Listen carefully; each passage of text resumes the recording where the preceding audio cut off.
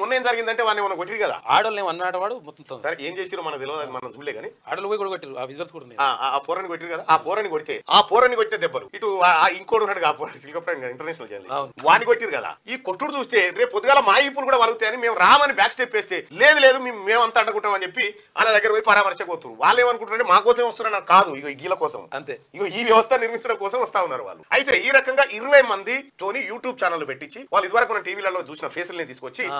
దాంతో ప్రాపగండ చేయించి కాంగ్రెస్ పార్టీ ప్రభుత్వం మొత్తం అయిపోయింది అనేటువంటి ఒక వాతావరణం తీసుకురావాలనేది వాళ్ళ ఇంటెన్షన్ ఇగో ఇదేమో సాటు చేస్తా ఉన్నాడు. దీనికోసం అనేక కోట్ల రూపాయలు ఖర్చు పెట్టడానికి సిద్ధంగా ఉన్నాడు. ఈ వీటితోటి కేటీ రామారావును ఏమన్నా అంటే కథం ఈ ఈ ఇరవై ఛానల్ ప్లస్ ఇదివరకు ఉన్నాయి. ఈ అన్ని కలిసి ఈ యూట్యూబ్ ఛానల్ అన్ని కలిసి చెప్తా ఉంటాయి. వాస్తవానికి కూడా యూట్యూబ్ ఛానల్ పెట్టాలంటే యూట్యూబ్ ఛానల్ నడవాలంటే ఒక కాజు ఉండాలి.